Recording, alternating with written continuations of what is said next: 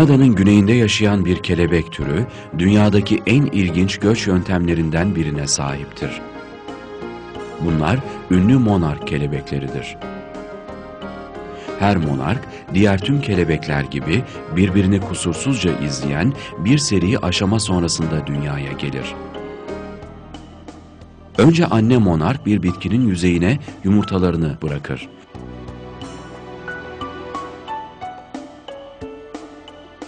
Yumurtadan çıkan küçük larvalar bir süre yapraklarla beslenir ve bir tırtıl haline gelirler. Sonra da kendilerine koza adı verilen kapalı bir yuva yaparlar. Monarkın kozası tam bir tasarım harikasıdır. İncecik ama çok sağlam bir bağlantıyla bir ağaç dalına bağlıdır. Bu kozanın içinde dönüşüm geçiren tırtıl bir süre sonra yavaş yavaş dışarı çıkar.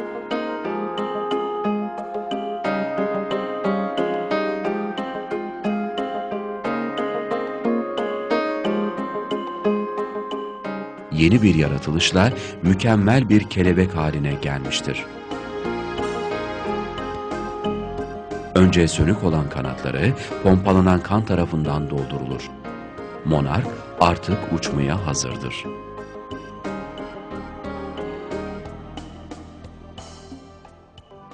Monarkları diğer kelebek türlerinden ayıran çok ilginç bir özellikleri vardır. Bir yıl içinde tam dört ayrı monark nesli yaşar. Bu nesillerin ilk üçünün ortalama ömrü 5-6 haftadır. Ancak dördüncü nesil çok farklıdır. Çünkü bu nesil yaklaşık 8 ay sürecek bir göç yolculuğuna çıkacak ve bu yolculuğu tamamlayana dek hayatta kalacaktır.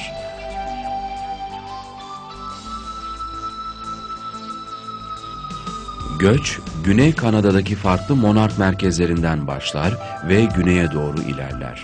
Bir grup Kaliforniya'ya, bir grupta daha güneye inerek Meksika'ya varır.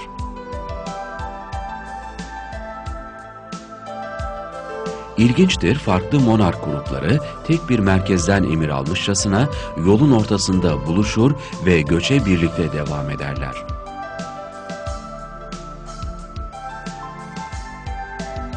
Monarkların göçe başlaması da tek bir merkezden planlanmıştır. Kelebekler herhangi bir zamanda değil, tam sonbaharda gecenin gündüze eşitlendiği gecede yola çıkarlar.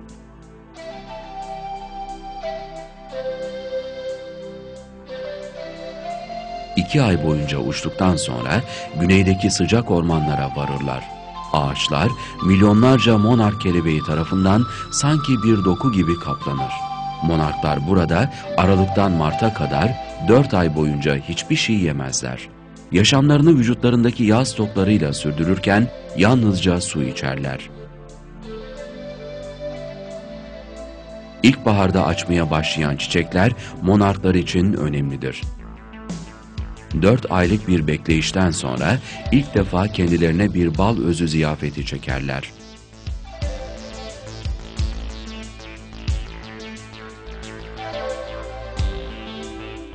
Artık Kuzey Amerika'ya dönüş için gerekli enerjiyi depolamışlardır. Mart sonunda yola koyulmadan önce çiftleşirler. Tam geceyle gündüz eşitlendiği gün koloni kuzeye uçmaya başlar.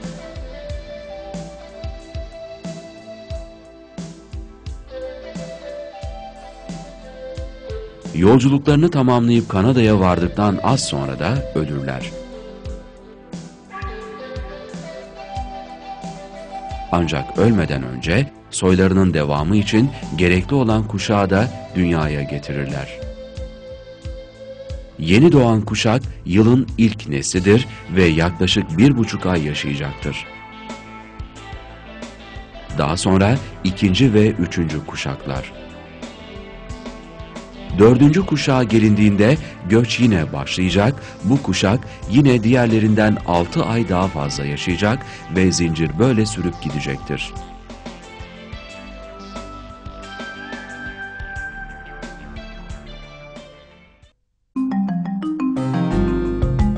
Bu harika göç akla birçok soru getirmektedir. Nasıl olmaktadır da her dört nesilden biri altı ay daha uzun yaşayacak şekilde doğmaktadır?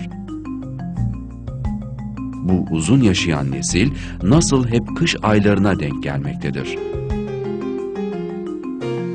Nasıl olmaktadır da kelebekler göçe tam geceyle gündüzün eşit olduğu günde başlamakta, bu ince hesabı başarabilmektedirler. Yeni doğan monark nesli daha önce hiç uçmadığı göç yollarını nasıl bilmektedir?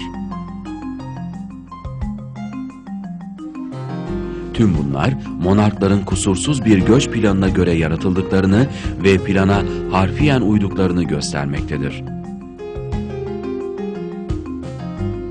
Eğer planda en ufak bir hata olsaydı monarklar göçü tamamlayamazlardı.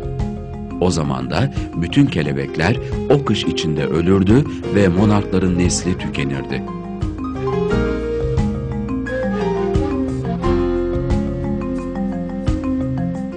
Açıktır ki bu canlılar özel olarak yaratılmış ve her yıl gerçekleştirdikleri olağanüstü göç onlara ilham edilmiştir.